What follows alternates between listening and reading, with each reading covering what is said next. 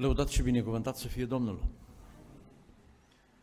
Să ne apropiem din nou de Scripturi, potrivit tematicii noastre, părinții creștini, la lecția a cincea, educația copiilor în perioada școlii. În această perioadă este necesară o bună comunicare cu copiii, pentru că plecând de acasă, ei intră în relații și cu alți oameni, cu școala, prietenii, cu societatea în general. De aceea, pasiunea de care vorbeam la una din lecțiile anterioare, care trebuie să marcheze copiii în pasiunea părinților, deci pentru copiii în primii ani, trebuie să se păstreze cu atât mai mult în perioada școlii. Înțeleptul zice despre comunicare, citesc din Proverbe, capitolul 18, versetele 20 și 21, afirmând că este de mare valoare. Din rodul gurii lui satură omul trupul, din venitul buzilor lui se satură. Moartea și viața sunt în puterea limbii. Oricine iubește îi va mânca roadele. Dacă vorbirea, comunicarea în general au mare greutate, cu siguranță, relația părinți-copii nu face excepție. Și foarte mult contează, nu doar între soți, dacă vorbim de familie, ci și între părinți și copii, cum se comunică cu ei, cum sunt tratați și cum sunt abordate problemele. Pentru că trebuie să ne fie clar că un copil nu este o ființă inocentă, așa cum par ei și noi, în mod special mamele, spunând privind cu drăgălășenie ce nevinovat este. Nu este nevinovat un copil la naștere. Noi toți ne-am născut păcătoși și se va dovedi cât e de nevinovat când apucă să o facă. De aceea copiii au nevoie de multă educație în toată perioada creșterilor. Este ca și în întâmplarea aceea când un om a primit un plic, cum că este câștigătorul la loteria unei case cu toate proprietățile anexe dorite. A fost informat la ghișeu că a fost o greșeală de computer, dar exact casa care a fost prezentată se găsește de vânzare, dar costă 700 de mii de dolari. Omul a zis, aș fi vrut-o, dar la loterie să o plătesc, asta e prea mult efort. Ceva asemănător este și cu copiii. Este o muncă de-a lungul anilor, însă care va fi răsplătită. Zice tot în Proverbe 29 cu 15 pentru a înțelege că și copiii nu sunt buni numai dacă vor deveni buni. Nu iau și certarea dau înțelepciunea. Dar copilul lăsat de capul lui face rușine mamei sale. Este ca în legea a doua termodinamicii. De la sine, totul în natură se degradează, merge de la bine spre rău. Și asta se va vedea și în viața copilului dacă este lăsat să crească doar și să-i dăm de mâncare și îmbrăcăminte sau să împlinim alte mofturi. Vreau să ne oprim la perioada copilăriei întâi și apoi să privim la perioada adolescenței. Și să enunțăm câteva principii ale educației copiilor. Copiii trebuie să fie învățați concret despre păcat și sfințire, despre autoritate și supunere, în familie, mai cu seamă în procesul educației, a învățării. Democrația, în raportul părinte-copil, este nebiblică. Pentru că și copilul necunoscând întotdeauna ar vota împotrivă. Și doi părinți și trei copii ar fi în permanență minoritate. Este necesar ca ei, părinții, să-și asume responsabilitatea, iar cât privește copiii, să-i ajute să facă față luptei spirituale personale. Pentru că numai astfel vor putea să-i formeze și să clădească în ei un caracter ce se va desăvârși pe măsură ce cresc. Spusele Apostolului Pavel din 1 Corinteni, capitolul 10, versetul 13, referitor la ispită, cu siguranță se aplică și în cazul copiilor. Adică Dumnezeu nu va îngădui ca un copil să fie ispitit peste măsură.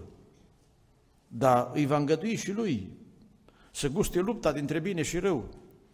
Și aici părintele joacă un rol determinant pentru a-i spune concret ce este păcat, ce nu este păcat, cum spuneam și la lecția a treia, a ajuta să-și formeze o conștiință curată. Iată cele scrise aici. Nu va ajuns nicio ispită care să nu fi fost potrivită cu puterea omenească. Și Dumnezeu care este credincios, nu va îngădui să fiți ispitiți peste puterile voastre, ci împreună cu ispita a pregătit și mijlocul să ieșiți din ea ca să o puteți răbda. Repet, fapt valabil și pentru copii. De aceea, noi ca părinți, ținând cont de cele scrise în Scriptură, dintre care citesc din Proverbe, capitolul 3,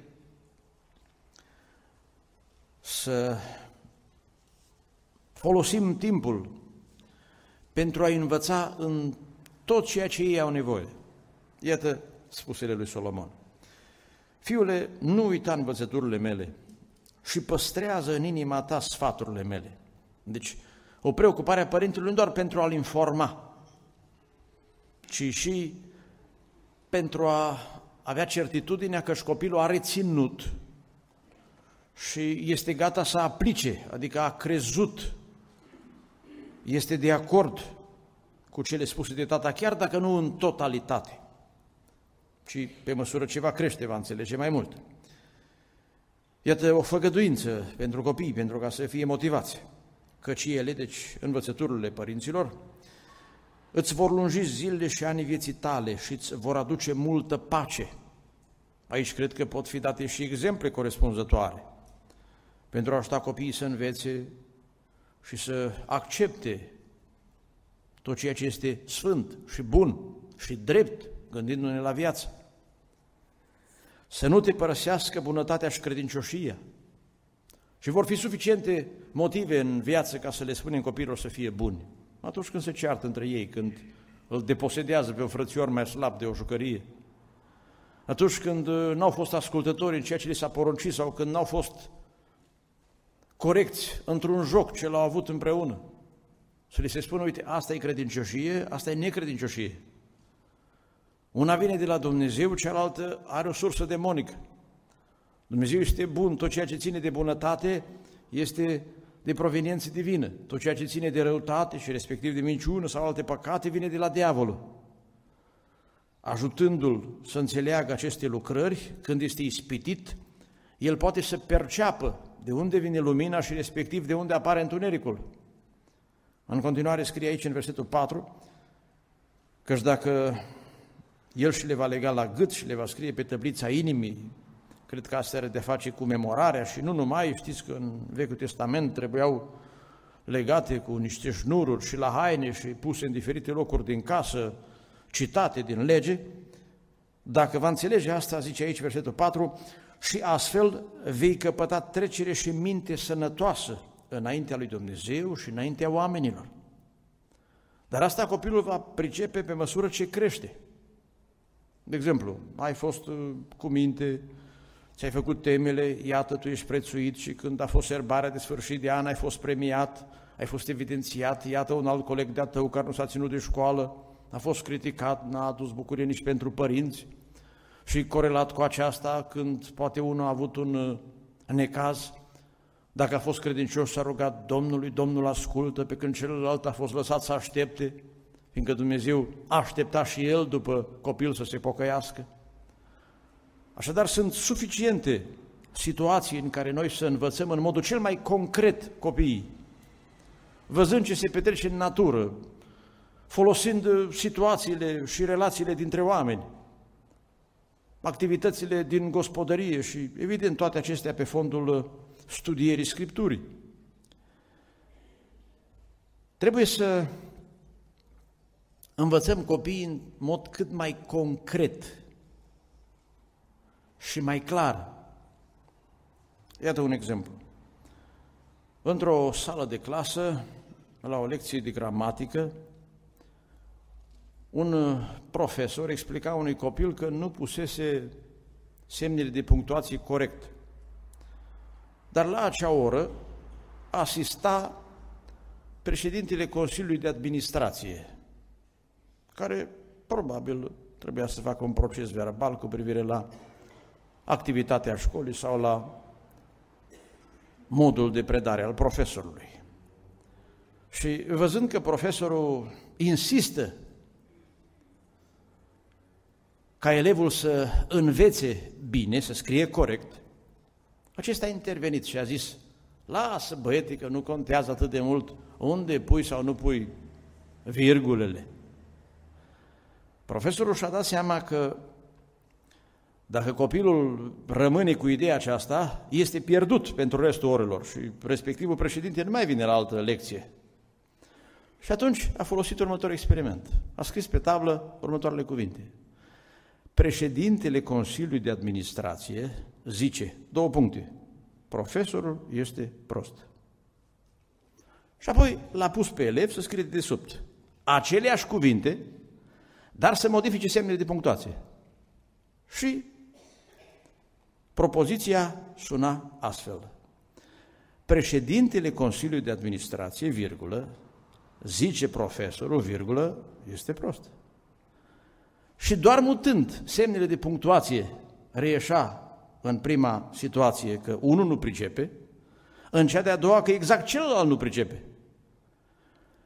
Pentru că dacă nu-i vom învăța pe copii cât mai concret, cât mai corect, ei vor bâșbâi.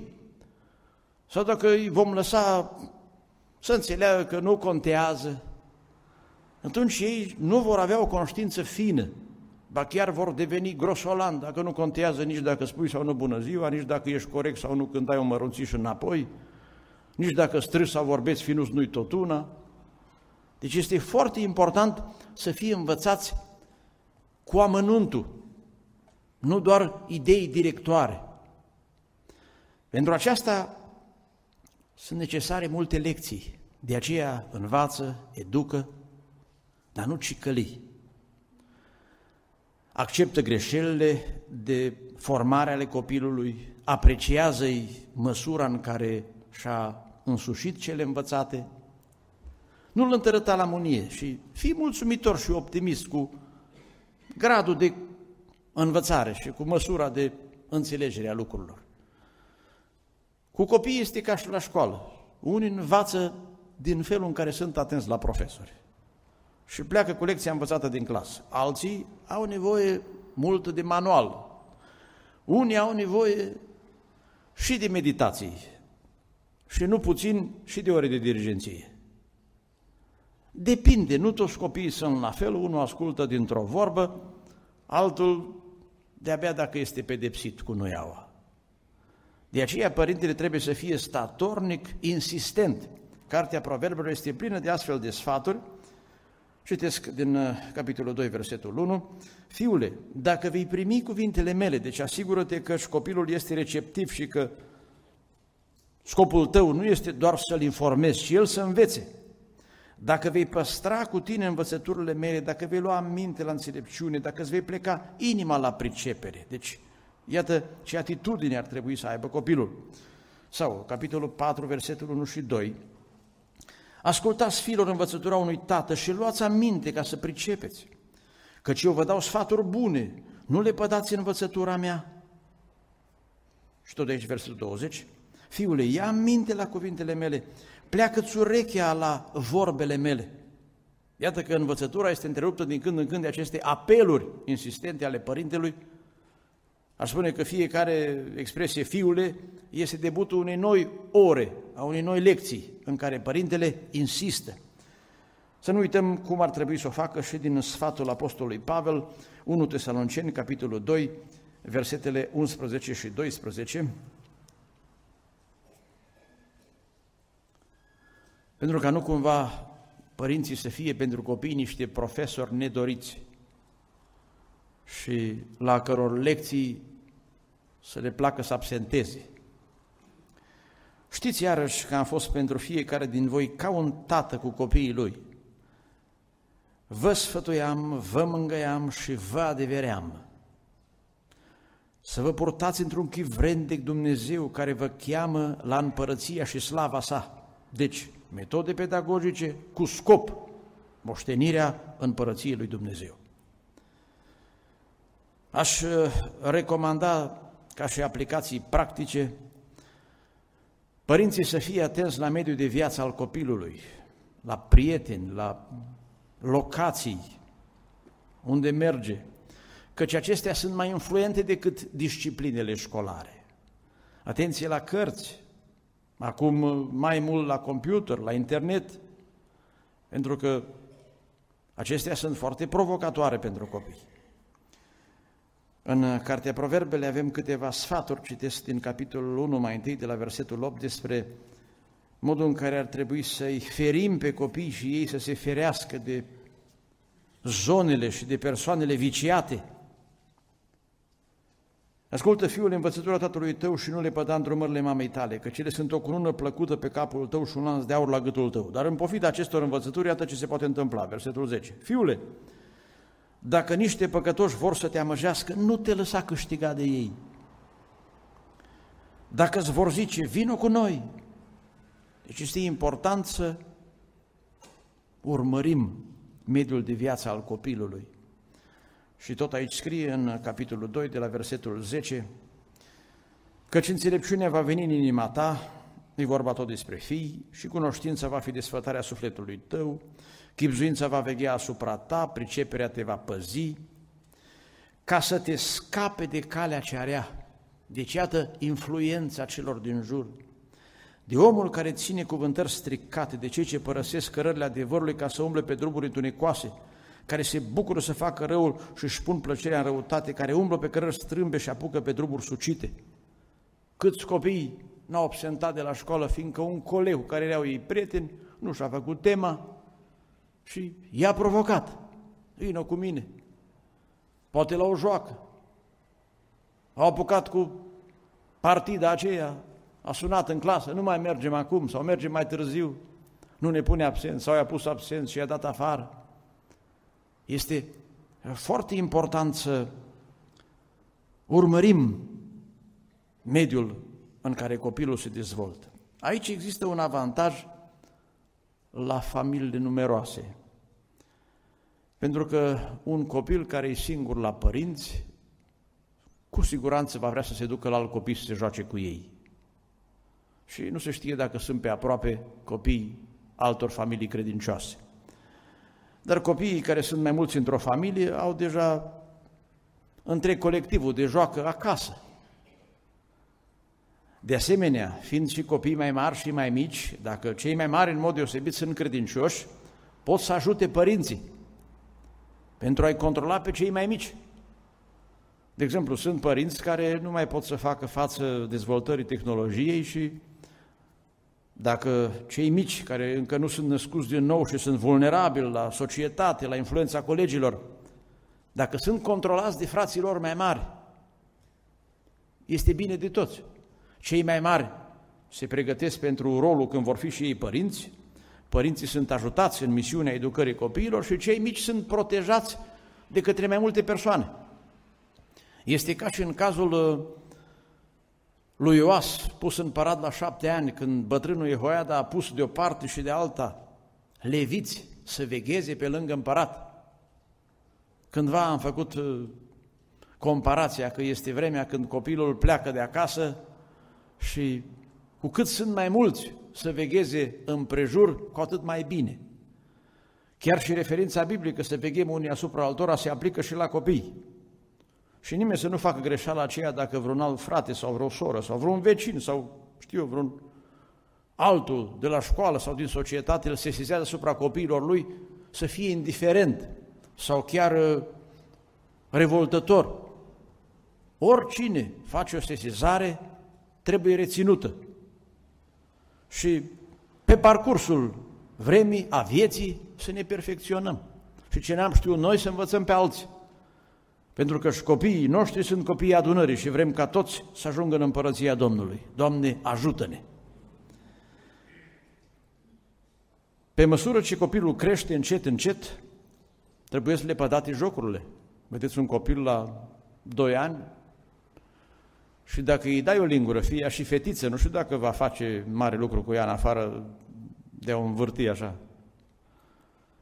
Dar pe măsură ce cresc, băieți sau fete, trebuie să provocați să muncească și astfel încet, încet, jocurile să rămână într-o pondere de 90%, 80, 70, până când vor fi mari, gata cu joacă.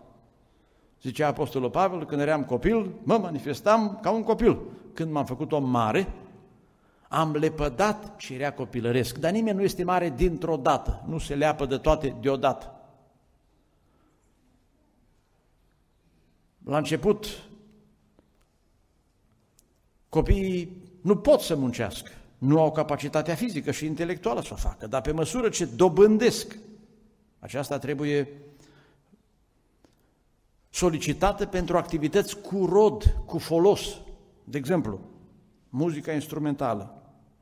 Poate fi o provocare pentru copii, să înveți un instrument.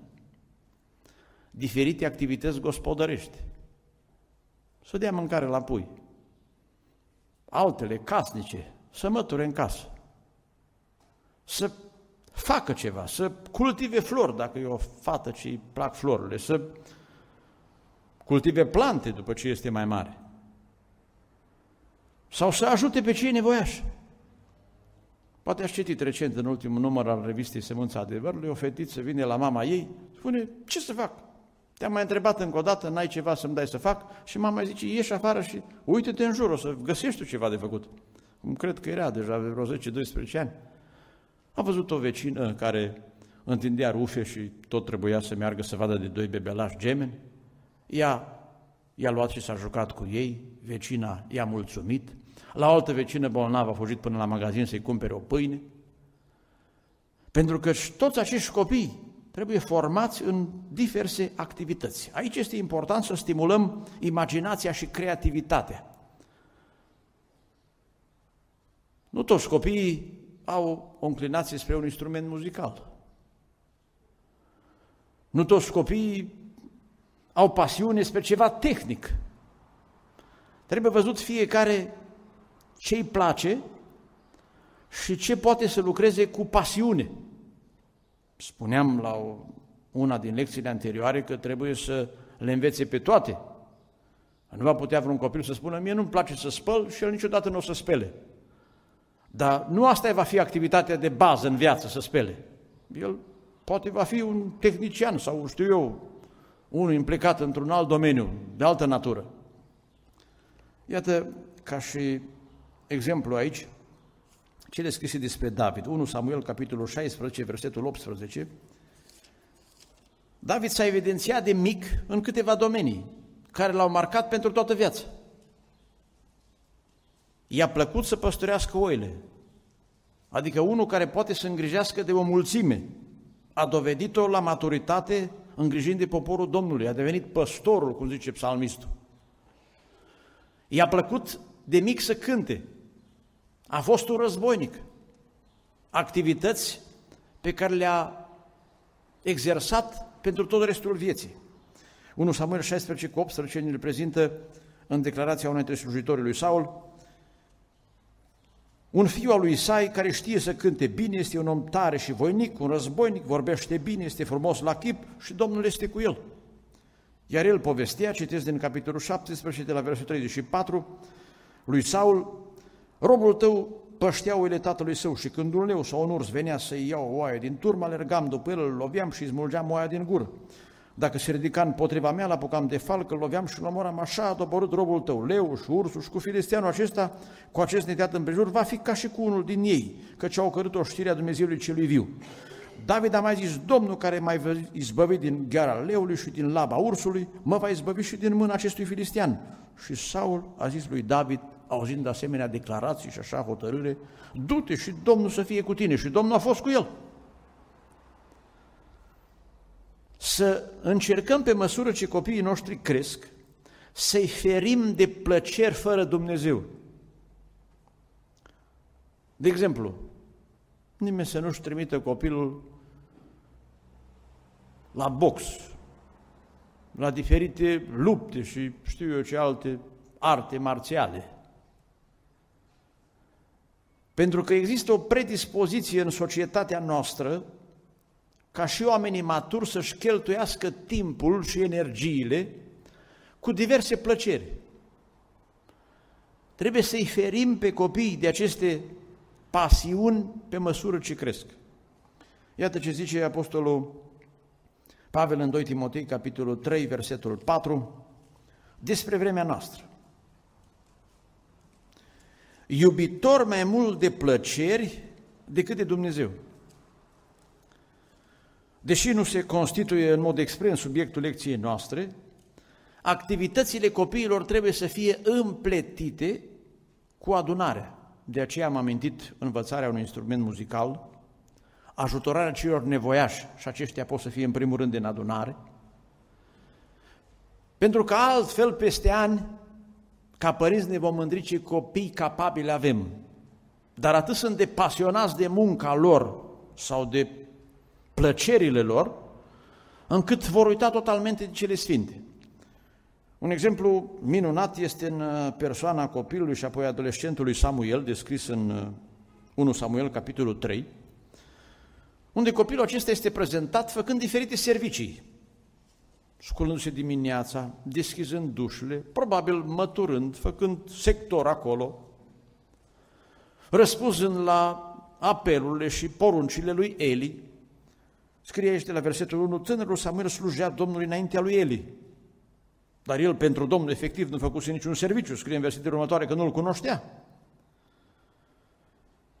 Și când el s-a culcat, scrie în versetul 3, îndată după aceea Domnul a chemat, el a spus, iată-mă, și a alergat la el și a zis, iată-mă că și mai chemat, asta însemna ce serviciu trebuie să fac. Așa cum rezultă că s-a întâmplat în dimineața următoare, citesc versetul 15, Samuel a rămas culcat până dimineața, apoi a deschis ușile casei Domnului, Samuel s-a temut să istorisească lui vedenia aceea. Dar Eli l-a provocat, Samuel a istorisit și scrie de la versetul 19, Samuel creștea, Domnul era cu el. Eu înțeleg această creștere în toate privințele. Exact cum scrie spre Domnul Isus în Luca, capitolul 2.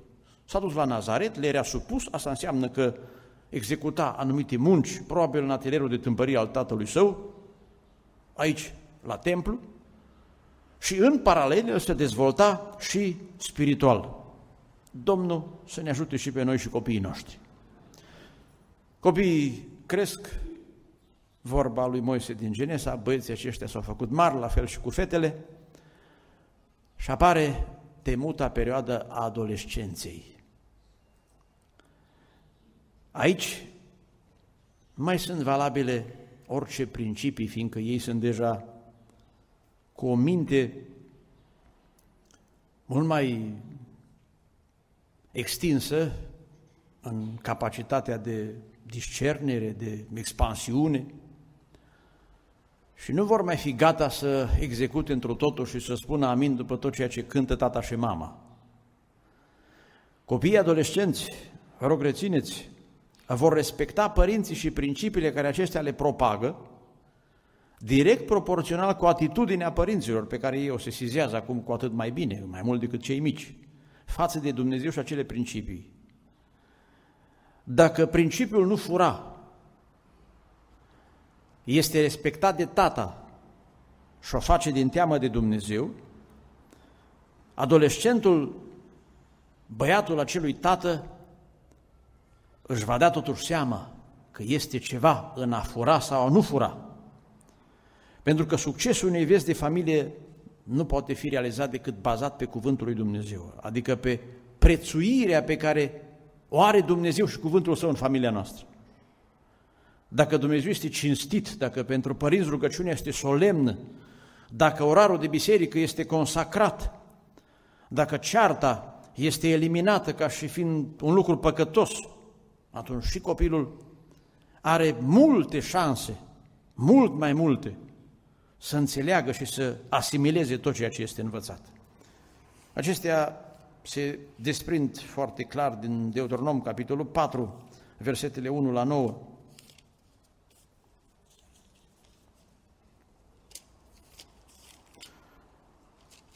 Capitolul 6, scuzați. Iată poruncile legii și înduiele pe care a poruncit Domnul Dumnezeul vostru să vă învăț, să le împliniți ce folos ar fi să le învățăm, dar să nu le împlinim? ca să te temi de Domnul Dumnezeu tău păzind în toate zilele vieții tale, toate aceste porunci, tu, fiul tău și fiul fiului tău, toate legile și toate poruncile lui pe care ți le dau și să ai zile multe. Copiii vor sesiza deja la vârsta adolescenței dacă tata nu comite o ilegalitate, fiindcă se teme de poliție sau fiindcă, în primul rând, se teme de Dumnezeu și din pricina cugetului respectă legile. Ei vor percepe asta, își vor da seama după felul cum acționăm. În continuare este scris aici de la versul 3, ascultă dar Israele și caută să le împlinești ca să fii fericit și să vă mulțiți cum ți-a spus Domnul Dumnezeu părinților tăi când ți-a făgăduit țara în care curge lapte și miere. Ascultă Israele, Domnul Dumnezeu nostru este un singurul Domn. Deci, trebuie să clădim educația pe respectul față de Dumnezeu. Domnul nostru este singurul Domn, adică El este autoritatea absolută în univers. De El depindem, El este și Dumnezeul ca familiei noastre și noi tot ceea ce facem, facem raportându-ne la El, la voia Lui, la legile Lui. Să iubești pe Domnul Dumnezeul tău cu toată inima ta, cu tot sufletul tău și cu toată puterea ta. Nu vor sesiza adolescenții dacă și mama iubesc pe Domnul? Sau dacă o fac așa dintr-un ritual, tot ceea ce fac, ne rugăm că e la masă, e de culcare și când se roagă, mai ia o cratiță de pe aragaz, mai mătură prin bucătărie. Dacă vor vedea respectul nostru și o bună relație cu Domnul, asta îi va determina să fie mai, mai deschiși, mai receptivi. Îi va marca într-un fel pozitiv. Și poruncile pe care ți le dau astăzi să le ai în inima ta și de aici, din inimă, trăite, iubite, să le întipărești în mintea copiilor tăi, să le vorbești de ele când vei fi acasă, când vei pleca în călătorie, când te vei culca și când te vei scula. Deci în diverse momente de relaxare sau chiar de deplasări curente, să le leși ca un semn de aducere aminte la mâini, să-ți fie ca niște frontare între ochi, să le scrii pe ușorii casei tale și pe porțile tale. Deci ar trebui să facem din casele noastre un fel de templu. Și atunci copiii noștri vor crește precum Samuel. Și dacă la templul nostru nu-i Hofni și Finias, și sunt doar lucruri sfinte, vor avea și învățătură și modele și au toate șansele să devină credincioși și nu numai oameni de caracter în viață. Dacă nu este așa, citesc din Ezechiel capitolul 16, chiar dacă noi părinții nu ne dorim aceasta, copiii ne vor uh, copia parte din atitudinile noastre, de regulă cele negative. Ezechiel 16, versetul 44 la 47. Ia câtă că toți cei care spun zicător vor spune despre tine zicătoarea aceasta. Cum este mama așa și fata? Tu ești fata mamei tale care s-a dezgutat de bărbatul și copiii ei, tu ești sora surorii tale. Deci iată că mama are influență, sora mai mare are influență. Adică cei din casă, prin felul în care respectă sau nu respectă pe Dumnezeu și legile sale. La vârsta adolescenții, controlul absolut din primii ani, o mână fermă, dar plină de dragoste, cum numai un părinte poate să aibă, trebuie să slăbească încet, pentru că și copilul trebuie să-și dobândească treptat independența. Dar independența trebuie dobândită pe măsura dobândirii înțelepciunii, în așa fel încât la maturitate, când copilul pleacă de acasă și nici nu mai poate fi controlat, el să fie gata să consulte părinții. Asta ar fi cea mai frumoasă minune. Vă dau ca exemplu situația unor teritorii care reclamă independența. Vedeți, se mai schimbă graniților națiuni și unele teritorii, cum a fost în cazul Iugoslaviei, devin independente. Ei, dar independența nu se poate câștiga peste noapte, decât așa, printr-o revoluție care se lasă apoi cu probleme. Fiindcă trebuie să fie formate niște organe ale statului și din punct de vedere administrativ și altor uh, domenii de, de guvernare și economice, respectiva entitate să-și dobândească treptat independența pe măsură ce se pregătește și va avea armată proprie, economie proprie, stabilitate. Cu copiii este la fel. Dacă îi vom ține în leagăn până la 18 ani și vor evada și vor deveni peste noapte independenți, nu se știe dacă va dăinui Republica lor. Dar dacă treptat, treptat le dăm libertate și slăbim frâiele pe măsură ce copilul crește și este responsabil, va fi ușor la maturitate să își preia toate responsabilitățile vieții când va lăsa pe tata și pe mama. Textul din Proverbe, capitolul 3, în gândirea mea evidențiază aceste adevăruri. Citesc de la versetul 11. Fiule, nu disprețui mustrarea Domnului și nu te mâni de pedepsele Lui. Căci Domnul mustră pe cine iubește, ca un părinte pe copilul pe care îl iubește. Copilul când nu știe este mustrat.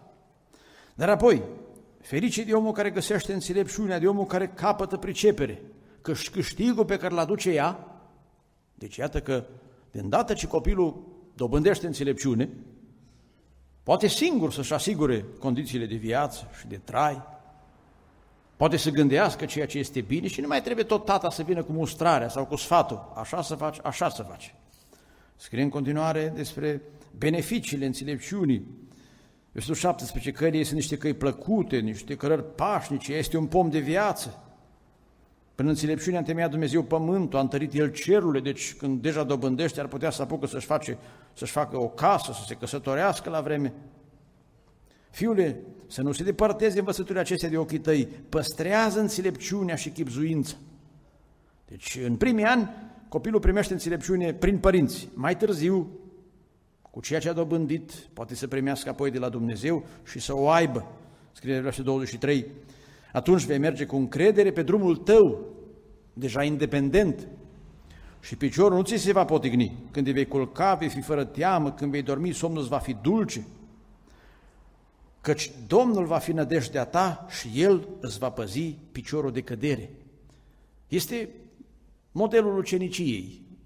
Un ucenic este pus mai întâi să vadă cum face maestru. Apoi este date anumite operații mai simple sub supravegherea maestrului său și după aceea, încet, încet, va putea și el să lucreze singur și își va dovândi capacitatea de operare în domeniul respectiv. Aici este nevoie să oferim încredere cu bucurie copiilor noștri.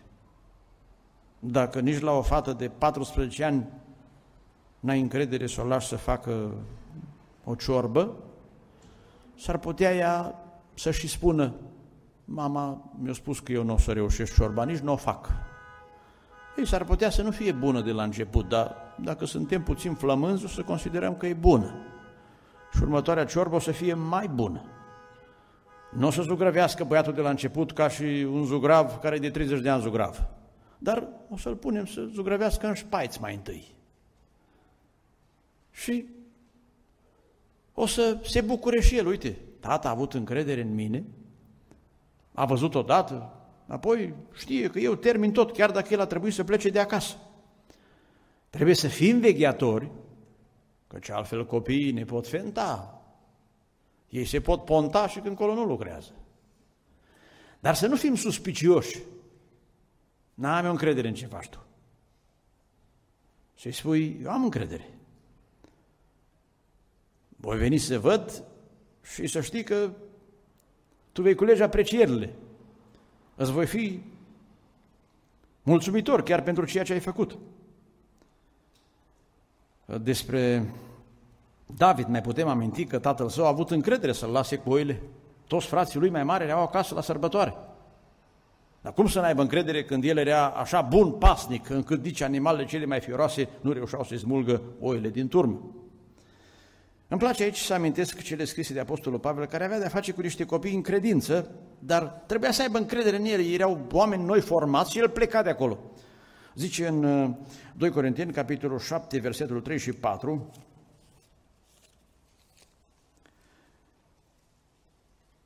Nu spun aceste lucruri ca să vă osândesc, aveau ei și greșeli. Căci am spus mai înainte că sunteți în inimile noastre pe viață și pe moarte, de noi așa și cu copiii. Am o mare încredere în voi, am tot dreptul să mă laud cu voi, să împlin de mânghiere, îmi saltă inima de bucurie în toate necazurile noastre. El a lăsat acolo inclusiv prezbiteri în diverse biserici, având încredere că respectivii vor fi credincioși. Cum îi zice și lui Timotei, ceea ce ți-am spus încredințează la oameni de încredere. Dar erau copii în credință.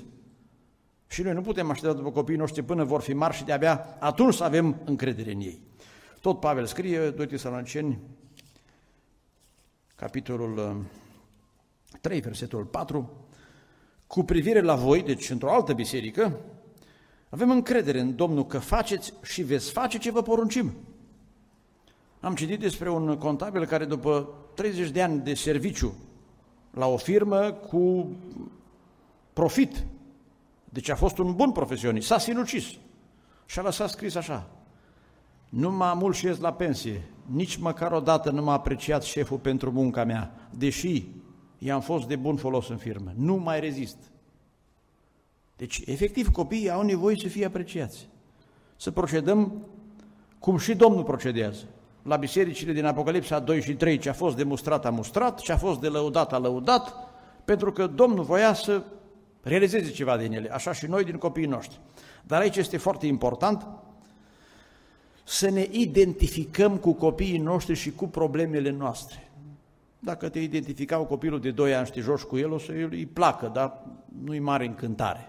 Când s-a terminat jocul, poate se bucură mai mult de un coleg de-a lui că tu nu ai putut să intri prin toate labirinturile pe unde a intrat un prieten de-a lui. Dar un uh, adolescent are nevoie să te identifici cu el potrivit problemelor specifice, de la pubertate până la nevoile materiale, de aceea e necesar să discutăm cu ei, chiar să anticipăm nevoile lor, să deschidem noi subiecte cu ei. De exemplu, spunea o fată a cărei părinți s-au păstrat tabu tot uh, domeniul uh, vieții intime.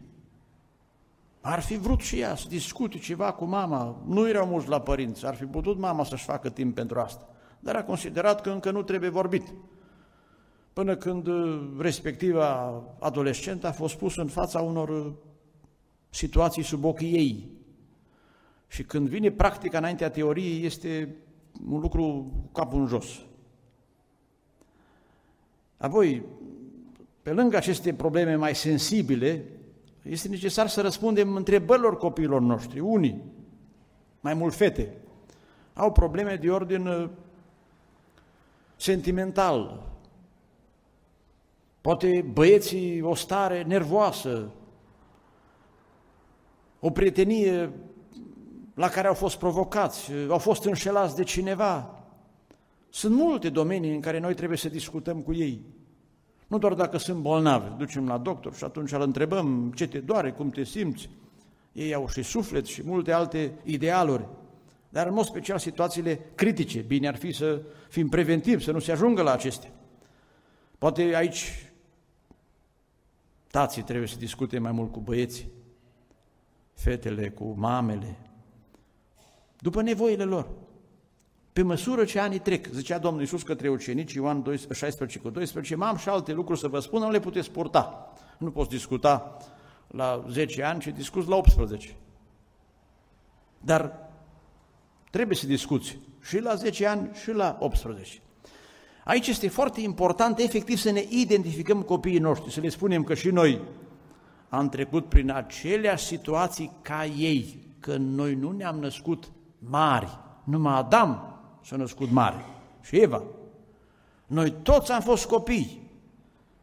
Am sesizat și la copiii noștri le place să ne reamintim de vremea când eram noi copii, de felul cum ni s-a întâmplat când eram noi la școală, ce am întâmpinat noi în viața adunării. Aici este bun exemplu Domnului Iisus Hristos despre care scrie în Evrei 2 și 4, vă voi citi în dată, că a trăit ca noi pentru ca să ne poată înțelege în toate problemele noastre. Și asta e foarte important. Eu când vin în numele Domnului Iisus la Tatăl, eu știu că El a trăit ca mine, a avut cândva, mă refer la copii, 10 ani, 12 ani, dar dacă cineva n-a trecut, este ca și cum ai povesti unui american despre ce a fost la noi în România în vremea comunistă. Unii americani nu știau bine unde e România, de cum să știe ce și cum uh, a fost România, dar să zic în, în Rusia, în Siberia, și probleme au fost. În Evrei, așadar, este scris, capitolul 2, versetul 16 la 18, Căci negreșind în ajutorul îngerilor vine el și în ajutorul seminției lui Avram. Prin urmare, a trebuit să asemene fraților săi în toate lucrurile ca să poată fi în ce privește legăturile cu Dumnezeu un mare preot milos și vrednic de încredere, ca să facă ispășire pentru păcatele norodului. Și prin faptul că el însuși a fost ispitit în ceea ce a suferit, poate să vină în ajutorul celor ce sunt ispitiți. Ispitele copiilor de care vorbeam, sau 4 cu 15 și 16, că nu avem un mare preot care să n-aibă mile de slăbiciunile noastre. Dacă tata e preot în casă, atunci trebuie să facă ispășire și pentru copii, în ceea ce ține de un om, și să aibă milă de slăbiciunile lor, să ne apropiem, dar cu deplină încredere de scaunul Harului, să căpătăm îndurare, să găsim har pentru ca să fim ajutați la vreme de nevoie. Dacă vor putea copiii noștri să spună versetul 16 în raport cu părinții foarte bine, spun am o problemă, eu mă pot apropia de tată. Mă duc și discut cu mama. E foarte bine. În mod special pentru perioada adolescenței. Specialiștii spun că în perioada aceasta, dacă nu suntem atenți, se rupe legătura între generații. Să ne dea Domnul har și îndurare. Și să înțelegem, spun aceasta în final, că o relație bună cu copiii produce efecte la distanță. Dacă te înțelegi bine cu ei, te ascultă și când nu ești de față. Dacă nu ai o relație bună cu ei, nu te ascultă numai când ești sub ochii lor, când îi vezi.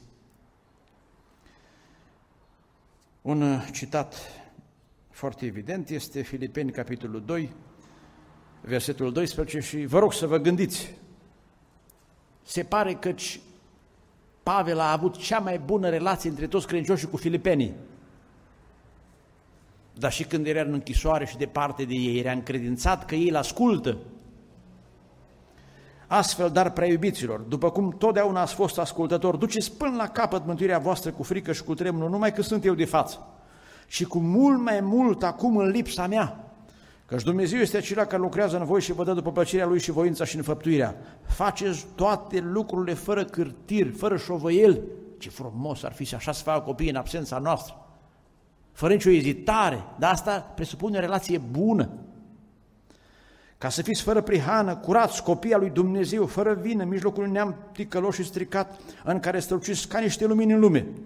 Și ce bine se potrivește și pentru părinți versetul următor ținând sus cuvântul vieții așa ca în ziua lui Hristos, să mă pot lăuda că n-am alergat, nici nu m-am ostenit în zadar. Și tot ca lucrurile să fie bune, cred că este necesară și o bună relație cu Domnul. Să avem credință și nădejde în ajutorul lui Dumnezeu. Noi suntem limitați. Capacitatea noastră și puterea noastră, înțelepciunea noastră este relativă. Care este Părintele de săvârșit? Dumnezeu să-L binecuvinteze. Trebuie să avem încredere și să cerem ajutorul lui Dumnezeu, chiar dacă am fi părinți desăvârșiți. Pentru că este scris în Psalmul 127, versetul 1, Dacă nu zidește Domnul o cetate, degeaba lucrează cei ce o zidesc. Acesta este un motiv suprem ca pe parcursul educației copilor noștri, în orice perioadă, copilărie, adolescență, să apelăm la Dumnezeu și la sprijinul Său.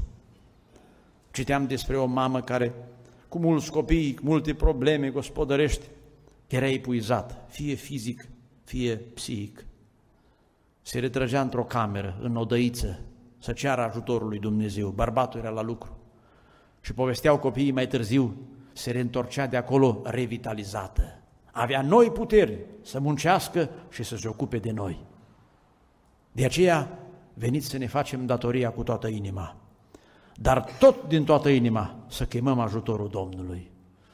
Pentru că este deja vârsta, mă refer la adolescență, când așteptăm ca Dumnezeu să se ocupe de ei și să-i nască din nou, pentru ca să întrejească efortul nostru părintesc și în final noi și copiii noștri să fim mântuiți. Amin.